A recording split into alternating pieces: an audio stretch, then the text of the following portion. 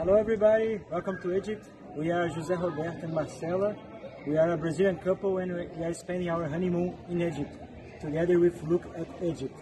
The trip is amazing, everything is very well organized, the guys are fantastic, the drivers are very good, and Egypt is exactly what we were expecting, perfect. Or even more. See you, bye.